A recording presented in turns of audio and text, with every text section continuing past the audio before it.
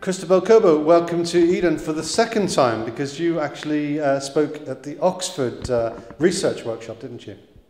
So uh, rather than a keynote, I understand it's a conversation. So I, at the beginning, I wasn't really convinced with the idea of bringing a bunch of a bunch of ideas that could be relevant. Much more open to conversations.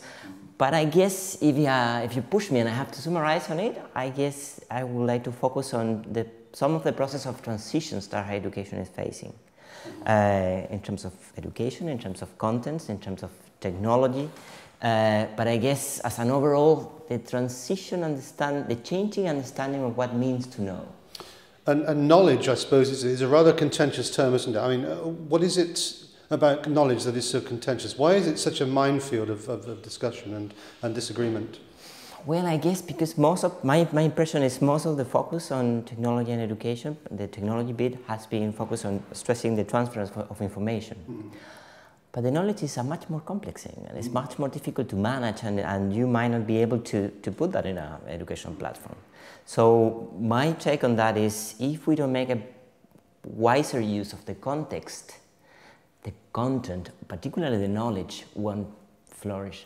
So uh, I love technologies, I think they're really useful, but you cannot export context with technologies, and context are really key in order to enable uh, the, development of, or the flourishing of, of knowledge. So uh, I think it was Bill Gates that once said content is king, but I suppose what we're now saying is content is, context is king, is it? Absolutely, yeah. In a way, unluckily because of the OER and all the open access initiatives, really high quality content is becoming a commodity. We have access to that. Even if you live in a poor country or you have uh, limited access. But what really is something that is much more difficult to scale are those contexts in which you can connect with people that could be interesting to you and explore ideas and all these sort of things. And that bit sometimes is not always in the discussion of how to think the future of the university. I mean, could the problem partly be uh, because of the proliferation perhaps of user-generated content, which obviously is not peer-reviewed? Is that, is that part of the problem, do you think? Yeah, uh, but even in the user-generated contents, when you have a look at the amount of people generating contents on Wikipedia or the amount of librarians working on it, it's a really small community. So the pyramid is really um, showing the kind of misbalances. And, and I tend to think that the people creating contents in a consistent way is a small community. And most of the rest is just generating uh, discussions, retweeting, re-exchanging, remixing it. So we have this misbalance between the opportunities, the possibilities, and the real uh, production of content. I mean, I have these colleagues at the Oxford Internet Institute who always said, uh, we have more content about the Antarctic uh, pole than any country in Latin America or in Africa. And that doesn't mean that penguins are treating, of course, of generating contents, but that really shows the misbalance of who is generating content and for which purpose. I'd like to turn to your, your theory. Actually, you call it a meta theory of, of uh, invisible learning. Can you explain this to the audience? Sure. I, I guess we are in this process of transition. Um, and the idea that John Moravec and I uh, kind of embraced when we were exploring this idea of invisible learning is one, uh, based on Polanyi, Polanyi, for instance, on Nonaka, most of the knowledge that we have is tacit, it's not explicit. Uh, and, and, again, linking with technology, it's much more easy to broadcast tacit knowledge than, than, the, than the, the tacit one. Sorry, explicit and the tacit. But also, most of the ways and the experiences when we apply knowledge taking place, they take place out of the classroom out of the university, out of the schools if you want to, when you are in exchange with other contexts, with other communities, with other environments.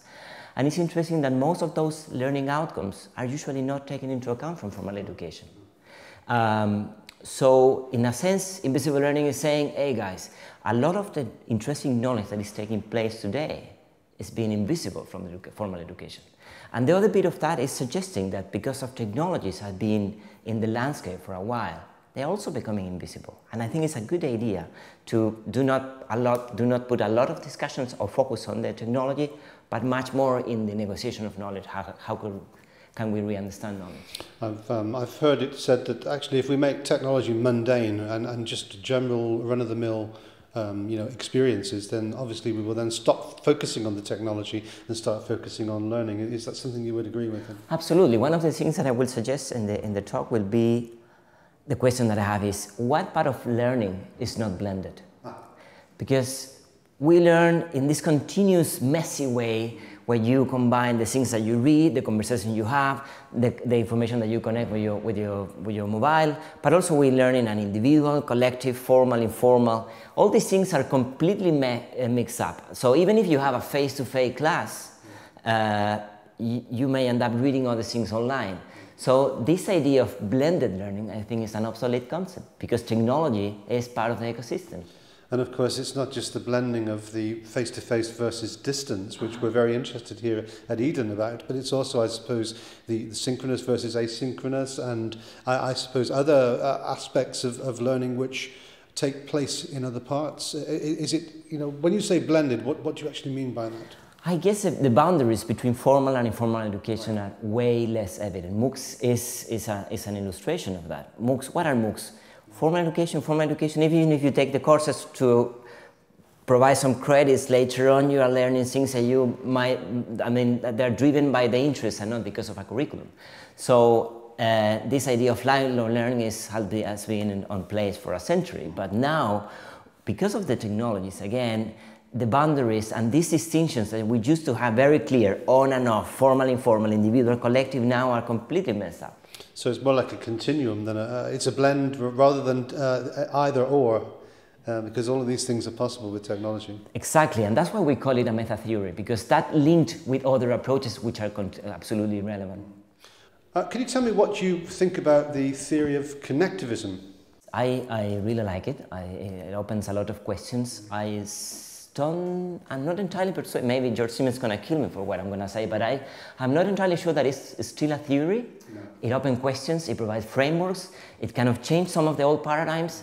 I'm not sure that they pretend to, to build a theory, but it's really useful to say we might learn and explore in a much more messy way that doesn't match with some of the learning design structures that we may have somewhere. Mm. But anyway, it's a really valid learning. Uh, one of, I think one of the stumbling blocks for some people about this theory is that um, it, it, it claims that knowledge exists outside of the head as well as inside the head, doesn't it? It exists in the network. I mean, uh, how, how would you explain that to, to a layperson? Well, the, George says this phrase that I really like. Uh, he said, the, the network is the learning. Right. And I think it's so powerful because when you think that the really possibilities of connecting with others, connecting with other contexts, connecting with other communities. And in this negotiation process is when you really learn. Then you say, formal education is amazing, but if you, if you don't find and build new bridges with other spaces and other opportunities of learning, you're really missing part of the, part of the point. Uh, once again, Cristóbal Cobo, thank you very much. My pleasure. Thank you for that.